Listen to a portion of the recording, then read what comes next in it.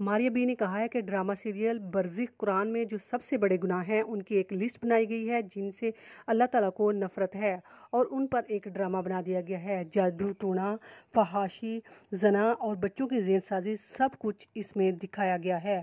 Well done برزخ team اور پاکستان کی پچیس کروڑ عوام کا دل توڑ کر آپ لوگوں نے کچھ کروڑوں کے لیے یہ ڈرامہ بنایا ہے۔ پاکستان کے ماں باپ آپ کے اس لبرل اور ورک ایجنڈا کے سامنے دیوار بن کر کھڑے ہو جائیں گے۔ ہم آپ کو یہ نہیں کرنے دیں گے اور ہم انشاءاللہ آپ کو کورٹ میں بھی دیکھیں گے اور اس کے خلاف ہر فورم سے آواز اٹھائیں گے۔ کو یوٹیوب سے ہٹانے کا اعلان۔ پاکستانی سپر سٹار فواد خان اور سنم سعید کی متنازع انڈین ویب سیریز برزی کو یوٹیوب سے ہٹانے کا اعلان کر دیا گیا ہے۔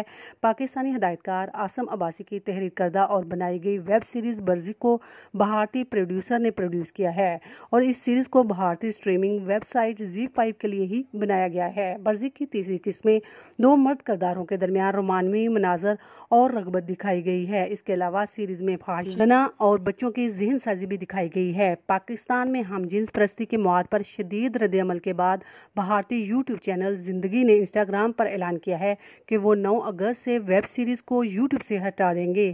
اپنے اعلامیہ میں انہوں نے لکھا کہ یہ فیصلہ پاکستانی ناظرین کو دیکھ کر مد نظر رکھ کر کیا گیا ہے اور اپنے ناظرین کو عزت اور احترام کی نظر سے دیکھتے ہیں۔ پاکستان سمیت بھارت میں یکساں مقبولیت رکھنے والی ٹی وی سکرین کی مقبول جوڑی فواد خان اور سنم سعید کو ہم جنس پرستی کو فروغ دیتی ہوئی ویب سیریز برزخ میں کام کرنا مہنگا پڑ گیا۔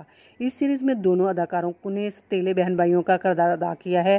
انیس جولائی کو بھارتی یوٹیوب چینل زندگی اور زی فائیو پر ریلیز ہونے والی سیریز برزخ کی تیسری قسط میں دو مردوں دو مرد کرداروں کے درمیان رومانوی مناظر اور رغبت دکھائی گئی تھی۔ اس کے علاوہ سیریز میں فحاشی زنا بچوں کی ذہن سازی بھی دکھائی گئی ہے۔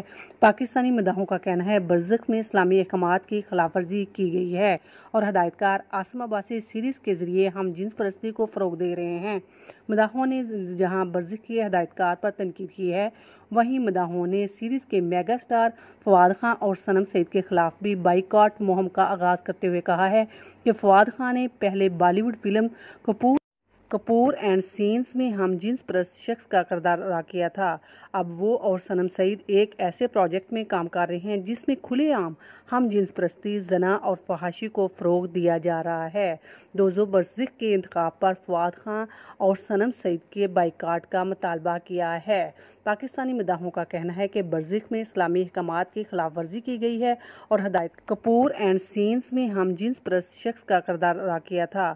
اب وہ اور سنم سعید ایک ایسے پروجیکٹ میں کام کر رہے ہیں جس میں کھلے عام ہم جس جبکہ پیمرا نے کہا ہے کہ برزی کو کسی لائسنس یافتہ چینل سے نشر نہیں کیا جا رہا۔ Pakistani electronic media regulatory authority PEMRA نے پاکستانی سٹار فواد خان اور سنم سعید کے متنازع ویب سیریز برزخ کے حوالے سے سماجی رابطے کی ویب سیریز کے بارے میں فیس بک پر جاری کیے گئے بیان میں کہا ہے کہ drama series Barzakh online platform پر نشر کی جا رہی ہے۔ آن لائن اور سوشل میڈیا پر موجود مواد پیمرا کے دائرہ اختیار میں نہیں آتا۔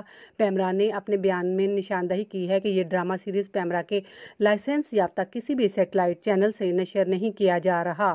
واضح رہے کہ اس سیریز کو بھارتی streaming web series Zee five سے بنایا گیا ہے۔ دوستو، اگر آپ بھی برزخ ڈرامہ فالو کر رہے ہیں تو اس کے بارے میں آپ کی کیا رائے ہے؟ کمنٹ سیکشن میں ضرور شیئر کیجیے گا۔